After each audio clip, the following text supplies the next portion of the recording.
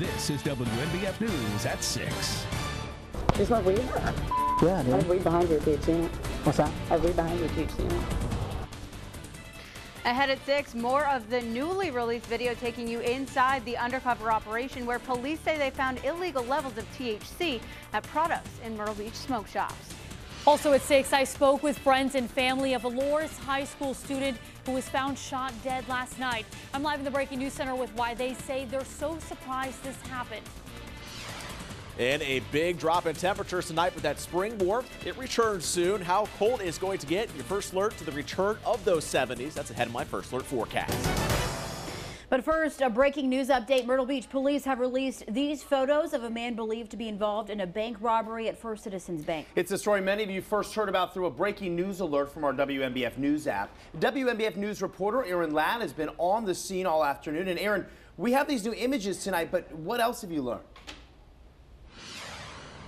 Eric and Meredith, I've been at this bank off Kings Highway for a majority of the afternoon. However, many of those who live in this area are getting off work and just getting home and finding out that this bank right behind me, that First Citizens Bank, in Myrtle Beach robbed again for the second time in just four months. And new information just being released by Myrtle Beach Police Department. That's right, the suspect, images of the suspect being released, and we want to show you those images right now. Police say this is the man that entered the First Citizens Bank around 1.30 this afternoon and robbed the place, leaving with an unknown amount of cash. Aaron Ladd, WMBF News. All right, let's switch to your weather now. That cold is filtering in after several beautiful spring days. Chief Meteorologist Jamie Arnold called it. Now, First Alert Meteorologist Robert Whitehurst joins us with just how cold it's going to get tonight where you live.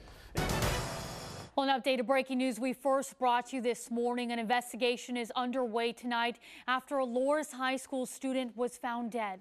Authorities say 18-year-old Martrelis Vereen was shot and later found face down at Flag Patch Road Cemetery last night. Family, friends, and community members say they're shocked and heartbroken at the news of his death. Many people I spoke to describe him as a good student, never getting into any trouble. They say he spent much of his time ushering at the Fremont Baptist Church and could always put a smile on anyone's face. Well, the family is asking whoever is responsible to come forward. Horry County Police say it's their sincere hope to bring some form of closure to those affected by this loss. Meanwhile, counselors were on hand today at Loris High School for staff and students affected by the tragic death. Live in the Breaking News Center, Christina Loeb, WMBF News.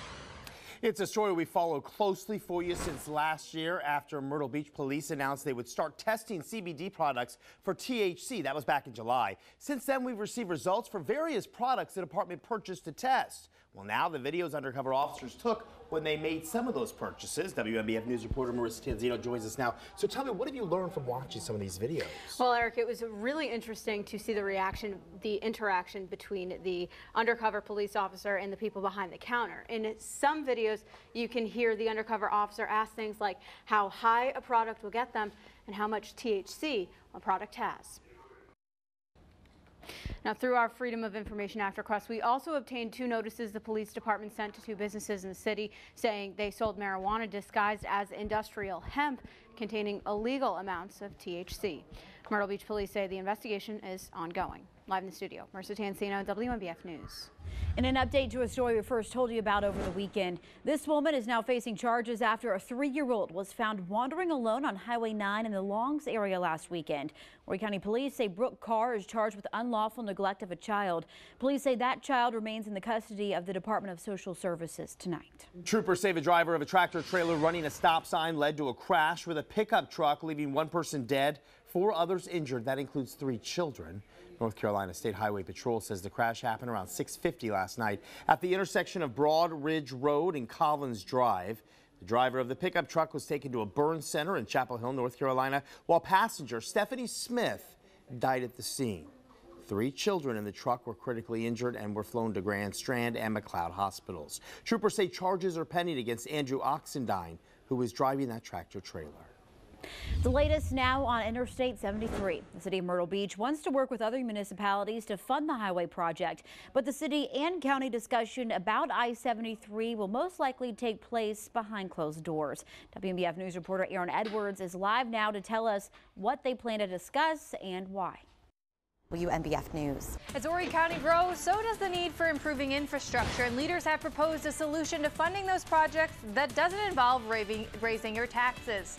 WMBF investigates impact fees and what they mean for your wallet. Still to come in our weekly It's Your Money report.